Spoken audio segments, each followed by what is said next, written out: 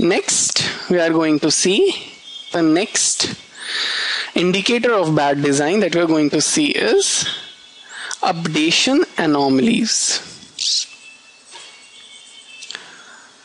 Updation anomalies. Okay. What is an anomaly? Anomaly is a problem. Okay. Anomaly is a problem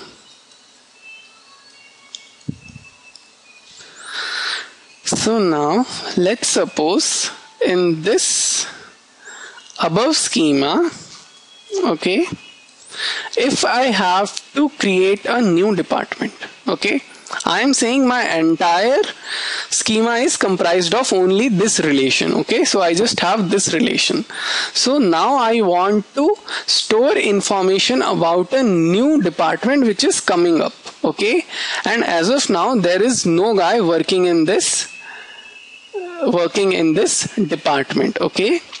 Let's suppose my department is quality control. I have suddenly realized that my products should have good quality and i have decided to create a new department of quality control. Now in my table which is this one let's say i just copy it back. Copy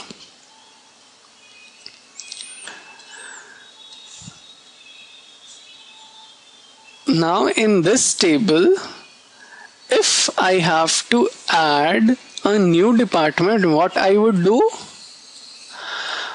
I would say my new department let's give it an ID as 13 okay?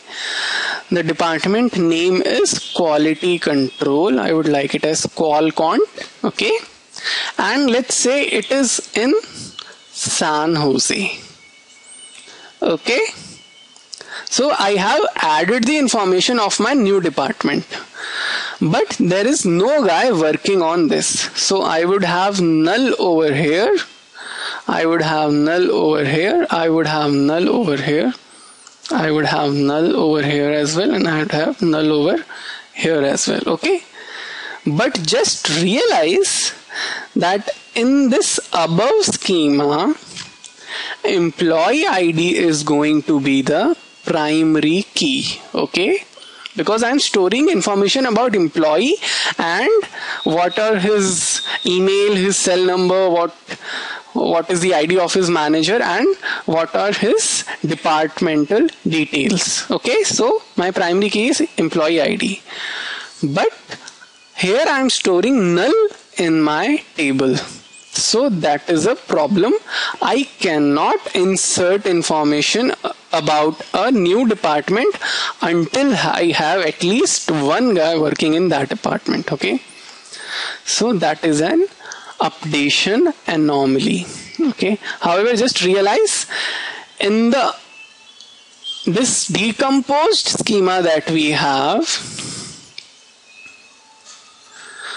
in this decomposed schema, I could have easily, since this is a separate table, I could have easily added my new department like this.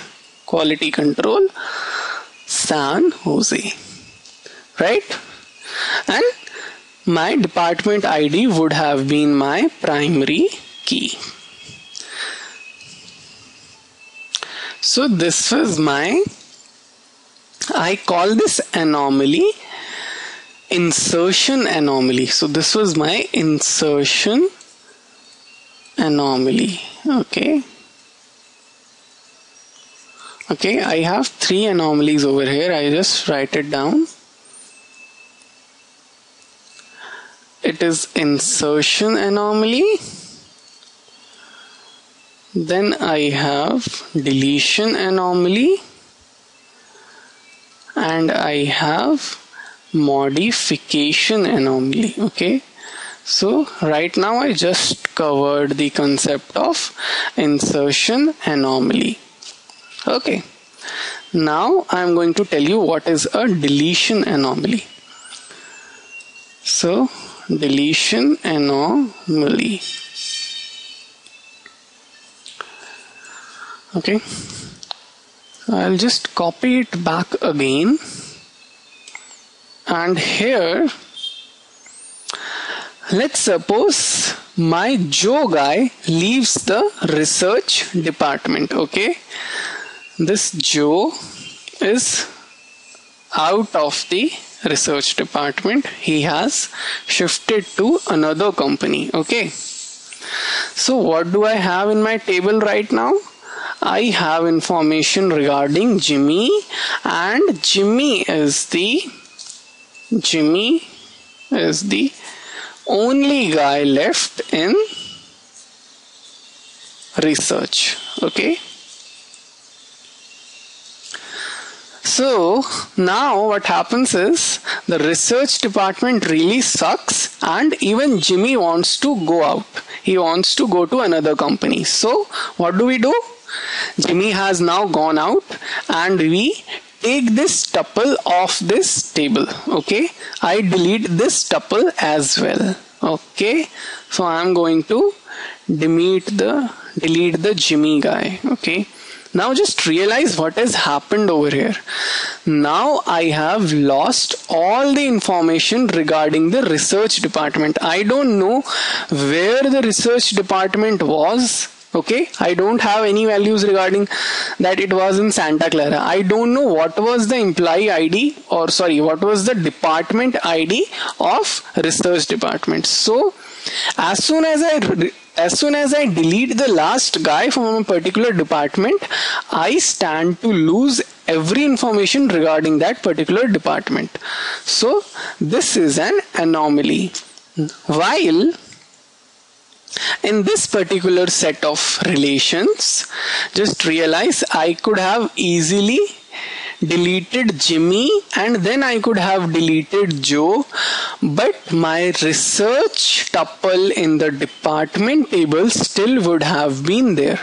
I still would have been able to realize that research department had department ID 12 and was located at Santa Clara so that is the concept of deletion anomaly.